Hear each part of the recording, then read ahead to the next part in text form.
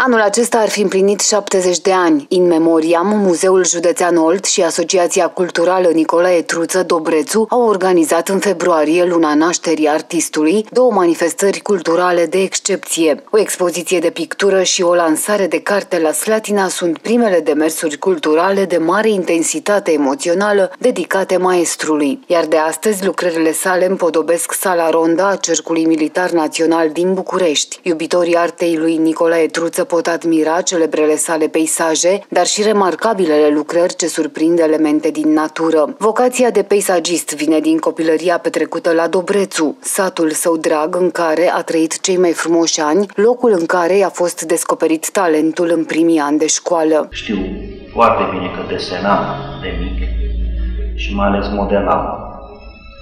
Uh, făceam placele colegilor, și descoperirea fundamentală a fost făcută la o oră de desen în care învățătorul meu era plecat și a fost uh, înlocuit în ziua aceea de o învățătoare tânără și de o, de o stranie frumusețe. Uh, ne-a dat o temă, deci un, la pescuit și țin minte că am făcut uh, practic nou un peisaj și o compoziție. Și atunci domnișoara Miloș Victoria se chema, s-a apropiat de mine și m-a mângâiat.